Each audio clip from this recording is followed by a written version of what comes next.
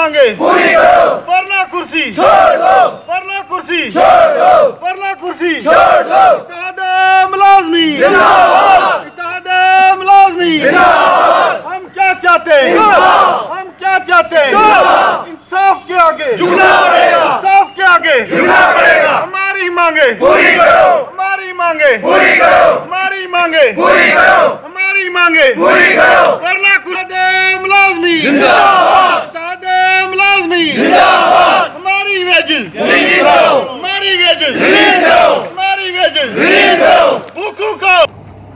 جی۔ میں عبد الغنی آل پرم جموں کا جنرل سیکٹری۔ ہم یہاں جو یہ اب سٹرائک لی ہے، پہلے ہم نے جو بہتر گھنٹے کی سٹرائک لی تھی، اس میں ہمیں چیف صاحب نے یہ یقین دیا تھا کہ آپ کی ویجز جو ہے، وہ ایک مہینے کے اندر اندر ریلیز کر دی جائے گی۔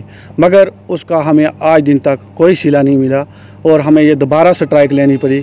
کیوں کہ ہمارے بچے جو ہے، وہ بھوکے مر رہے ہیں اور ہم فاقہ کشی کے شکار ہو رہے ہیں۔ تو ہمارے بچے جو ہیں سکونوں سے نکالے جا رہے ہیں، اس لیے ہم نے یہ دوبارہ جو سٹرائک لی ہے، آج چھٹی کے دن بھی ہم یہاں سٹرائک پہ بیٹھے ہیں، کیونکہ جب تک ہمارا ویجز ریلیز نہیں کریں گے، ہم یہاں سے اٹھنے والے نہیں ہیں۔ کیوں؟ ان یہ بار بار ہمارے ساتھ دھوکہ کرتے ہیں۔ اگر انہوں نے ہمارے سری نگر کے بھائی جو پچہتر سو لوگ، ان کو ریگولر کر دیا اور ہم جہاں ہیں، وہاں ہی ہیں، اس لیے ہمارا جو ہے، جلد سے جلد یہ مسئلہ حل کیا جائے۔ نہیں تو اس کے بعد ہم جو سات تاریخ کا ہمارا بجٹ ہے، اس میں اگر ہمارا ویج کا مسئلہ جو حل نہیں کیا، ہمارا جو پینڈنگ ویج ریلیز نہیں کی، اس کے بعد ہم ایک بہت بڑی جو ہے بہت بڑا اندولن شروع کریں گے، جس کا ذمہ دار ہمارا ڈپارٹمنٹ ہوگا اور ہمارا جو ہے اعلیٰ افسران ہوں گے۔ یہ کیونکہ ہمارے بچے جو ہے ابھی سکولوں سے نکالے جا رہے ہیں۔ ہمارے پاس کھانے کے لیے کوئی نہیں ہے۔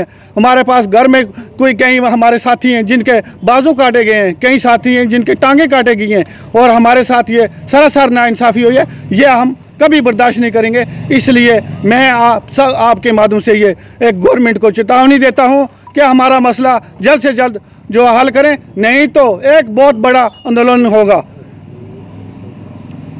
تازہ خبروں کے لیے نیچے دیے گئے سبسکرائب بٹن کو دبائیں اور نوٹیفیکیشنز کے لیے بیل آئیکن کو دبانا مت بھولیے گا۔